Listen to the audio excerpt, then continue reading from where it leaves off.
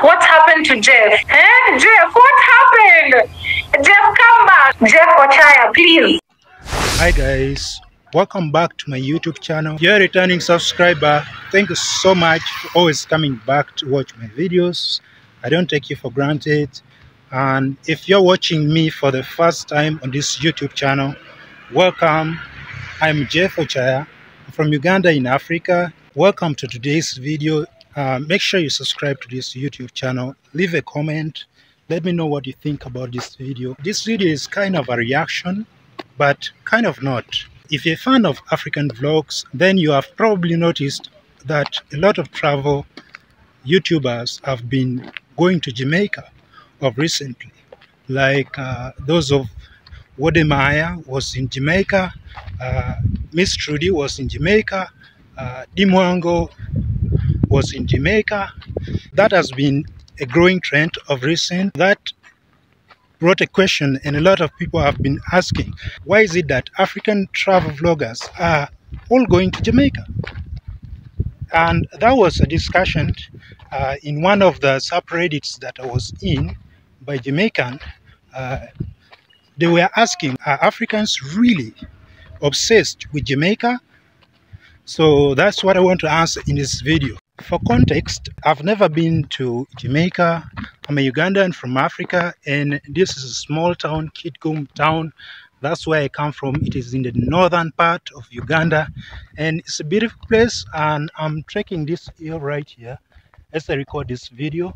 Uh, yeah, that is up hill. I wanted to react to this not as a criticism because I think uh, African travel vloggers visiting Jamaica is, is a good thing. And is something I'm fond of because they made me fall in love with Jamaica. Yes, Hello. Jeff, how you doing? Fine. So I've been watching You know the Tingo? You know the Wagwan Tingo? I know the Wagwan thing. I love Jamaica. So one of the reasons why Africans are African travel vloggers are so much in love with Jamaica is the language. Something we have grown familiar with because of uh, the culture of Jamaica that has penetrated uh, parts of our world. Like when I say that, I mean the ghetto world. Like when you go to any African country, there are certain places that are called ghetto, especially the slums and all those areas. And people who, are, who love music, the reggae music and stuff, those guys get so much deep into trying to, to speak English in the way that Jamaicans speak. That brings me to the second point. From Africa, we grow up loving uh, reggae songs, the Bob Marley and all those freedom fighter kind of songs.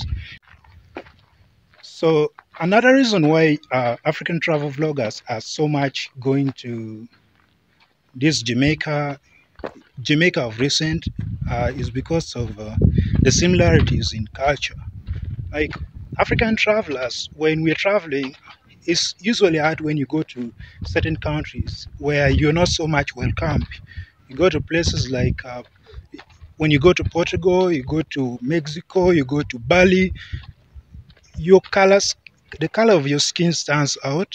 Uh, because of that difference, you're not so much, you don't feel so much accepted like automatically.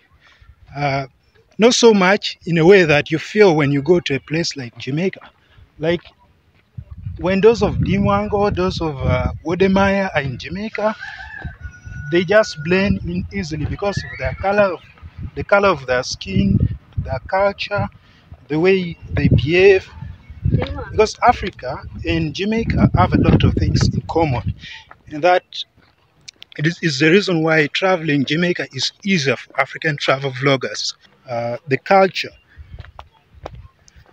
of course, Jamaica have root in Africa, and the culture of Jamaica and that of Africa have a lot of similarities. And Jamaican culture is so much rich in such a way that it's unique. And if you create content for uh, Jamaica, it gets a lot of views because the world needs something unique.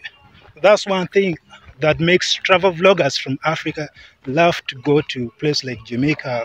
Uh, one of the biggest reason, of course, is content. All the factors that I've told you uh, before.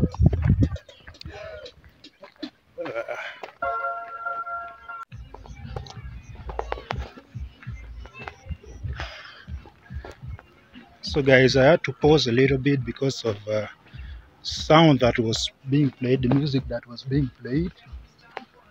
I think I would get copyright strike if I don't. So that's why I did it. So I'm saying the re- one of the reasons why African travel vloggers are going to Jamaica is because of content. Because of content. I, I won't lie, it's because of content.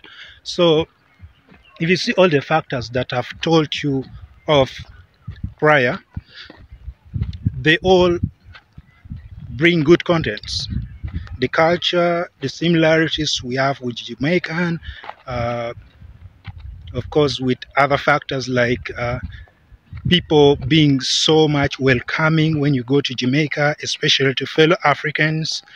Uh, that makes it so good for content, and that's why African travel vloggers can't get enough of it.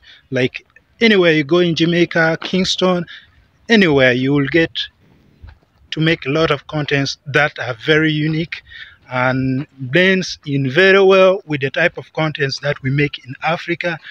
And that makes it so much easier when you're traveling. Of course like I said uh, the Jamaican people themselves are so much welcoming. They so much love Africa like you go on the street and when you say you're from Africa, like they show love, and that's that's that makes it easy. Like when you're a travel vlogger, one of the things that you want is you may, you want interaction in your videos. Like when you're making cultural contents or you're making uh, social contents, and if you get out there and you start speaking to people, even if you're holding cameras, uh, they they respond, and that makes it makes your work a lot easier this is the thing about travel vlogging. When you're traveling, you go to a place where people get views. That's that's that's the most important thing because when you're traveling, you want your videos to make views. When you get the views, then YouTube pays you money for the views that you get, and that's why a place like Jamaica get a lot of travel vloggers going there. Even not not only African travel vloggers, a lot of travel vloggers are going there because you get a lot of views when you go to Jamaica. I think because of all those factors that I've told you before contributes to Afri- uh, to Jamaica being very interesting. When you make contents there the contents also tend to resonate and tend to pick a lot of interest and people get a lot of views. So guys thank you so much for watching this video till the end. Make sure you subscribe to this youtube channel. Uh, let me know in the comment section what you think about this video and this format of video and even this topic as of itself. So are you a fan of African travel vloggers? Have you been watching the trend of them going to Jamaica? What do you think about that? Let me know in the comment section.